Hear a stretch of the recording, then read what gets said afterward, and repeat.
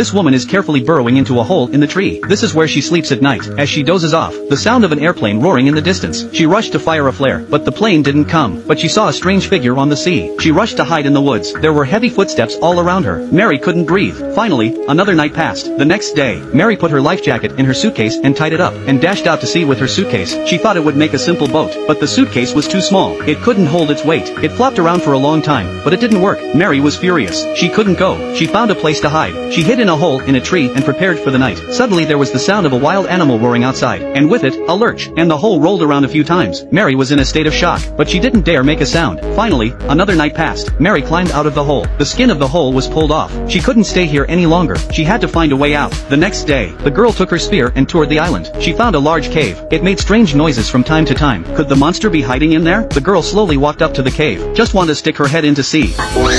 It's just a stupid bird, but there was every indication that the horrible monster was still on the desert island. The girl gathered some rags, and then tied a spear through both ends. Then she wraps a rope around a tree, and then she hangs the rags high up in the tree, to make a simple sleeping bag, so you don't have to worry about monsters attacking at night. At night, the woman was awakened by an inexplicable noise. She looked around vigilantly, but found nothing. She was just about to fall asleep again. A monster's low growl came from under the hammock. The woman could only keep praying that the monster wouldn't find her. Luckily, the monster didn't stay long and left slowly. In order to find out the monster's true identity, the woman hanged her companion's limbs on the tree. Then she hid in the shadows and watched secretly. This time she didn't dare to doze off. She concentrated on the bait. Suddenly, her eyes became terrified. A mysterious creature appeared and ate the corpse in the tree. The woman was so frightened that she couldn't breathe. She looked ahead of her, fearing that the monster would come to attack her. But just then, the roar of an airplane. The woman was so excited. Seeing the monster has disappeared. She was about to get up and call for help. But the monster suddenly appeared in front of her. The woman stopped moving, covered her mouth tightly. She didn't dare to make a sound. Luckily, the monster left in no time. The woman finally breathed a sigh of relief. The next day, the woman suddenly realized a lifeboat floating in the sea. She didn't have time to think about it, so she swam over to it when she got close enough to see, only to realize that it was her boyfriend and best friend who were separated in the shipwreck. After getting ashore, the woman hurriedly packed her clothes and prepared to leave, but her boyfriend and best friend didn't want to leave. They'd had enough of drifting at sea. They finally found land. They want to live here for a while. The girl was anxious. She screamed that there were monsters at night, but her boyfriend didn't believe her, and he yelled at her. You even listening to me? We are not getting on that fucking The girl ride. was so upset that she couldn't speak. She had no choice but to leave. After she left, the two of them were still walking on the beach. The girl saw it and was anxious. Then she quietly packed her bags. She took the only fresh water and food she had left, and put them in the kayak when they weren't looking. Finally, she pushed the kayak to the beach, decided to leave alone. Unexpectedly, her best friend saw this action. The two of them ran towards the girl as fast as they could. The boyfriend hugged the girl before she could get away. The best friend also clutched the girl's feet, but the girl kicked her away. But this kick also made her angry. As she struggled, she threw a shovel at her. The girl sank into the sea instantly. She woke up again. It was nighttime. Her hands and feet were tied up by the two of them. At this moment, suddenly, the screams of her best friend came from the sea. The boyfriend left the girl. He rushed there with a torch. Then he struck the monster's back with a stick, but the blow didn't hurt. The monster swatted him away. Then it plunged into the sea, and finally dragged his girlfriend into the deep sea. And the boyfriend was trembling with fear. He hid in a tree for the whole night, until the girl said the monster wouldn't appear in the daytime. He came down, so they pushed the boat overboard. They decided to leave immediately. The two of them had a clear division of labor. Everything was in order. But suddenly, the boyfriend noticed an unidentified object swimming past. He was about to take a closer look. The monster suddenly attacked and scratched his boyfriend. The woman saw this, rushed to seal the entrance, trying to stop the monster from entering. But the monster cut through the boat from below and exposed its head. In a moment of desperation, boyfriend grabbed a flare gun and attacked the monster, but he missed. Suddenly,